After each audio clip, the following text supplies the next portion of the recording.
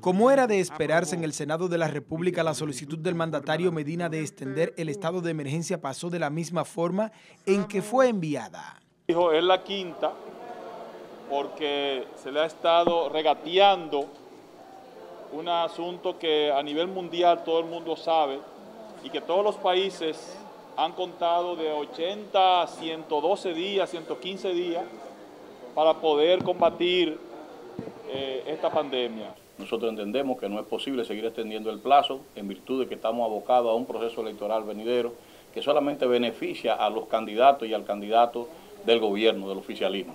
Los congresistas de la Cámara Alta siempre han acogido la propuesta del jefe de Estado sin mayores contratiempos debido a la correlación de fuerzas que favorece al partido oficialista PLD. Los legisladores de la Fuerza del Pueblo decimos que debe terminar el chantaje del gobierno con el estado de emergencia para beneficiar su candidato. Yo digo que están muriéndose de miedo, yo digo que están temblando como, como un niño en tiempo de mucho frío. La propuesta de resolución aprobada indica que el objetivo es proteger la salud y la vida de los dominicanos, así como mantener las condiciones favorables para celebrar las elecciones pautadas para el 5 de julio. Wilkin de la Cruz, Noticias SIN.